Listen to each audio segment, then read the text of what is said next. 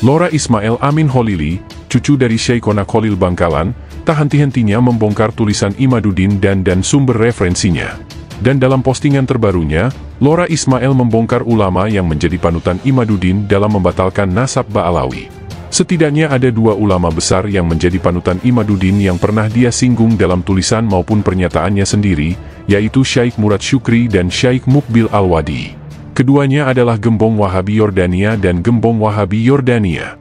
Bagi mereka yang sejak dahulu sering berantem argumen dengan para pengikut Wahabi Salafi lewat medsos, pastinya tidak akan asing dengan nama-nama itu, namun bagi orang awam yang kurang pengetahuan, pastinya tidak akan tahu siapa kedua ulama yang dijadikan rujukan Imaduddin tersebut. Dan aneh bin nyata, bagi mereka yang sudah tahu siapa kedua ulama yang menjadi rujukan Imaduddin tersebut, kok mau-maunya masih mengikuti tesis abal-abal karya Imaduddin tersebut. Sungguh tak tahu malu kalian sebenarnya. Berikut ini kami tampilkan tulisan terbaru Lora Ismail yang membongkar ulama yang menjadi panutan Imaduddin dalam membatalkan nasab Ba'alawi. Satu lagi seorang ulama hadis, namanya Syekh Mukbil bin Hadi Al-Wada'i Orang semua banyak itu kitab-kitab hadisnya. Dia sudah mengatakan, Ba'lawi Al-Ahdal Al-Qudaini bukan keturunan baginda Nabi besar Muhammad sallallahu alaihi wasallam.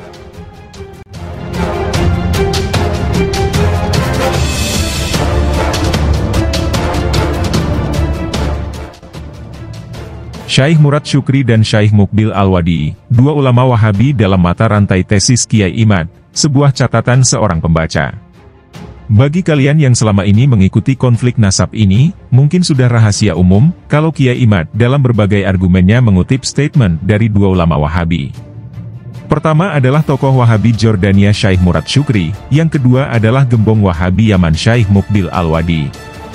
Tapi saya baru saja menemukan sebuah fakta yang menarik, yang muncul dari suatu pertanyaan, apakah Kiai Imad tidak tahu bahwa dua ulama itu adalah ulama-ulama Wahabi? Saya yakin Kiai Imad tidak selugu dan sepolos itu, beliau itu orang yang punya ilmu dan bisa baca kitab, tidak mungkin jika beliau tidak tahu.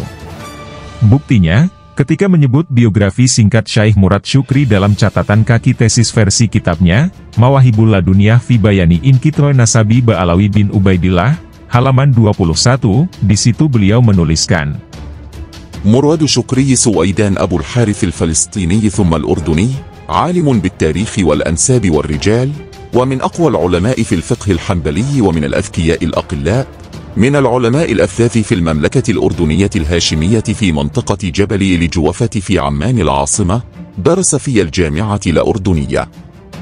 مراد شكري سويدان أبو الحارث الفلسطيني الأردني إلى آخره. Setelah saya telusuri, catatan biografi itu Kiai Imad Copas dari situs berikut, http www.aleman.com 20 i257p2. Coba perhatikan, mengapa Kiai Imad hanya copas sampai di situ saja? Jawabannya, karena baris selanjutnya akan dengan terang benderang menunjukkan kewahabian dari Murad Syukri, yaitu وأخذ عن الألباني ونسيب الرفاعي وغيرهما Murad Syukri mengambil ilmu dari Albani, Nasib Rifai, tokoh Wahabi Suriah, dan lain-lain. Kiai Imad tentu tak ingin membuat para muhibbinnya yang juga orang-orang NU itu kecewa, jika tahu bahwa yang sedang beliau jadikan rujukan, adalah seseorang yang sanatnya nyambung kepada Syaikh Albani Al-Wahabi. Dalam tulisan yang lain beliau masih berusaha menyembunyikan kewahabian Murad Syukri dengan menuliskan, Iya, Murad Syukri, adalah ulama Mashab Hambali di Kementerian Wakaf Negara Yordania. Ia banyak menulis kitab dalam ilmu fikih. Di antara kitabnya adalah, Profuel Harut wal Asor Anil Muslimin fi Hazihil Asor. Ia juga menulis sebuah kitab yang membatalkan nasab Ba'alwi dengan judul, Al-Ithaf fi Ibtal Nasabi Al-Hashimi Libani Alwi wa Al-Sakaf. https 2 rinubanten.or.id slash membedah dash kitab dash rujukan dash sang dot dot dot slash Kiai Imad juga mengakui bahwa Murad Syukri adalah salah satu inspirasi yang berpengaruh dalam tesisnya. Tentu Syekh Murad Syukri dan lainnya sebagai ulama terdahulu, mempunyai peran terhadap tesis penulis, tetapi yang penulis suguhkan hari ini jauh lebih komprehensif dan mendetail, dari ulama-ulama sebelumnya yang membatalkan nasab Ba'alawi. https 2 rinubanten.or.id imam mahdi ba alawi dan Nanti akan kita sebutkan siapa ulama yang dimaksud Kiai Imad. Murad Syukri sendiri bukan ulama Wahabi sembarangan. Ia adalah tokoh Wahabi yang terkenal dengan ucapan-ucapan kotornya. Bahkan pernah mengatakan para pengikut akidah Imam Asyari adalah zindik yang lebih hina dari sampah, dan sudah seharusnya kepala mereka ditebas dengan pedang. Kiai Imad dan Muhibbinnya masih berakidah asyari kan? Berikut link videonya, https yo2.b slash dujefut tanda tanya si sama dengan t-jblgs 5 ezari 1 kakak. Perhatikan dalam video ini Murad Syukri juga menzindikan Imam Fahru Rozi, penulis kitab Syajarah Mubarakah yang menjadi andalan Kiai Imad, di Ujan Ngeri. Tokoh Wahabi kedua yang dimaksud Kiai Imad sebagai bagian dari ulama-ulama sebelumnya yang membatalkan nasab Ba'alawi, adalah Syaikh Mukbil Al-Wadi. Kiai Imad menuliskan, para ulama di Timur Tengah pun ternyata banyak yang berpendapat yang sama. Di antaranya para ulama adalah asal Yaman seorang ahli hadis, Syaikh Mukbil bin Hadi Al-Wadai. Dalam kitabnya Sokotus Zilzal dikatakan, bahwa siapa yang bisa mengatakan kepada saya bahwa nasab leluhur Al-Alawi, Al-Ahdal dan Al-Kadimi. Mereka adalah tiga orang yang yang datang dari Irak ke Yaman. Lalu mengaku keturunan Nabi Muhammad atau Alawiyin. Pendapat beliau bisa dibaca di dalam kitabnya Sokotus Zilzal halaman 45 https www.konsultasisyariah.in terputusnya dasilsilah Dalam sebuah video live YouTube, bersama Gus Fuad Pleret, Gus Mogi dan KRT Fakih, Kiai Imad masih berupaya mengaburkan sejarah kewahabian Syaikh Mukbil dengan mengatakan, Satu lagi seorang ulama hadis, Syaikh Mukbil bin Hadi Al-Wadai, orang semua kenal banyak itu kitab-kitab hadisnya, ia sudah mengatakan Ba'alawi, Al-Ahdal, Al-Kudaimi bukan keturunan baginda Nabi. Mendengar itu Gus Pleret, Gus Mogi dan KRT Fakih hanya senyum-senyum dan monggat manggut saja. Link video, https www.facebook.com share v pphv 5 mvlhw 721 m 5 tanda tanya mi backstreet sama dengan KSPBC 6. Syaikh Mukbil sendiri juga bukan ulama wahabi kaleng-kaleng, dia adalah gembong wahabi nyel kentel, yang kewahabiannya sangat tersohor seantero Timur Tengah, dan punya tesis yang mengajak untuk merubuhkan kubah hijau Masjid Nabawi. Dalam kitab karya Sayyid Yusuf Al-Rifai, Nasyihah li Ikhwanina Ulamai Najd, sebuah kitab kritik atas ulama-ulama Wahabi Najd, dimukodimahi oleh Syaikh Budhi, beliau menjelaskan siapa sebenarnya sosok Syaikh Mukbil ini. 25 سمحتم للمدعو مقبل بن هادي الوادع المعروف بكثرة سبابه وطعنه على مخالفيه من العلماء والدعاة إلى الله وصلحاء هذه الأمة كما تشهد بذلك كتبه وأشرطته أن يتقدم ببحث في نهاية دراسته الجامعية في الجامعة الإسلامية بالمدينة المنورة بعنوان حول القبة المبنية على قبر للرسول وإشراف الشيخ حماد الأنصاري طالب فيها جهارا نهارا بإخراج القبر الشريف من المسجد النبوي واعتبر وجود القبر والقبة الشريفة بدعة كبيرة وطالب بإزالتها وهدمها ومنحتموه على ذلك درجة الفوز والنجاح. 25 Kalian, ulama-ulama Wahabi, mengizinkan Mukbil bin Hadi Al-Wadi yang dikenal dengan caci makinya terhadap ulama-ulama dan orang-orang syolih umat ini, dalam berbagai kitab dan kasetnya, untuk mengajukan tesis di Universitas Madinah dengan judul, tentang kubah yang dibangun di atas kubur Rasul, di bawah bimbingan Syaikh Hamad Al-Anshori. Yang mana dalam tesis itu secara terang-terangan di siang bolong, ia menuntut untuk mengeluarkan makam baginda Nabi dari Masjid Nabawi, menganggap Keberadaan makam dan kubah Nabi sebagai bid'ah yang besar, dan menuntut untuk menghancurkan kubah hijah, dan kalian berikan peringkat lulus bagi tesis itu.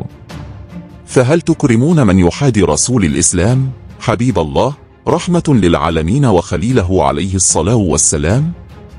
وقد وجه هذا الرجل المئات من أتباعه ومقلديه ونحوهم ممن تأثر بمذهبكم وجههم وهم حامل السلاح إلى هدم ونبش قبور المسلمين الصالحين.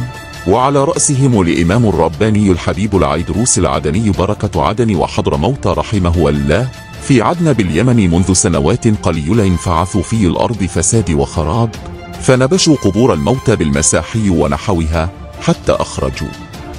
عظام بعض الموتى وانتهكوا حرماتهم وأثروا فتنة عمياء وبلغنا أنهم استخدموا في ذلك المتفجرات الديناميت في بعض المواضع في اليمن وهذا كله في صحيفة أعمالكم Apakah kalian memberi penghargaan kepada orang yang lancang dan kurang ajar kepada baginda Nabi? Dan lelaki ini, Mukbil Al-Wadi, telah mengarahkan pengikut fanatiknya dengan membawa senjata, untuk menghancurkan dan membongkar makam-makam orang-orang syolih di Yaman, termasuk makam Habib Abu Bakar Alaidrus Al-Adni, beberapa tahun yang lalu.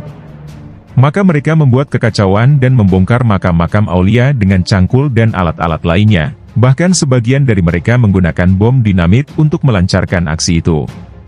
Entah bagaimana perasaan Muhyiddin Kia Imad jika tahu bahwa rujukan idolanya ternyata sesalafi dan sewahabi itu? Emang boleh sewahabi itu? Jadi, diakui atau tidak, Kiai Imad telah berjasa dalam mengendorse dan mempromosikan ulama-ulama Wahabi Tim Tank, bahkan dengan sengaja membungkus mereka secantik mungkin, agar para pengikutnya percaya, bahwa yang beliau jadikan rujukan adalah ulama-ulama aswaja yang kredibel dan kompeten di bidangnya. Dan setahu saya, di kalangan kia-kia NU, upaya mengaswajakan ulama-ulama Wahabi seperti ini hanya pernah dilakukan oleh Kiai Imad seorang. Keprok Atuh tapi saya bisa memaklumi sikap Kiai Imad itu, seperti yang pernah saya katakan, sejak dulu Kiai Imad dan kawan-kawan menghadapi satu problem, yaitu krisis ulama pendukung, karenanya siapa pun, yang penting anti Ba'alawi, akan beliau jadikan sebagai rujukan, bahkan andai ia ulama dari dunia antah berantah sekalipun. Sikap beliau ini mengingatkan saya kepada sebuah pepatah, Oboreru Monowawara Omo Sukamu. Itu bukan bahasa semut Mama Gufron, melainkan pepatah Jepang yang mempunyai arti, jerami pun akan digapai saat orang panik tenggelam. Pada akhirnya, bela sungkawa sedalam-dalamnya untuk para muhibbin Kiai Imad yang selama ini masih sangat mencintai NU, dan istiqomah memerangi ajaran Wahabi, mereka selama ini dengan gigih bersuara ketika katanya tokoh-tokoh Nusantara dibalawikan, tapi tanpa mereka sadari, berkat Kiai panutan mereka, tokoh-tokoh Wahabi telah berhasil diaswajakan. Jangan heran jika 50 tahun yang akan datang, anak cucu mereka akan disuguhi sejarah ulama baru, bahkan menjadikan ulama-ulama wahabi itu sebagai panutan dan rujukan. Huf, ingin rasanya memeluk mereka satu persatu sambil lalu berbisik di telinga mereka, kita sama-sama orang NU, kita memang tidak harus berpikiran sama, tapi mari kita sama-sama berpikir. Semoga sejauh apa pun kamu bermain, kamu gak akan lupa jalan untuk kembali pulang.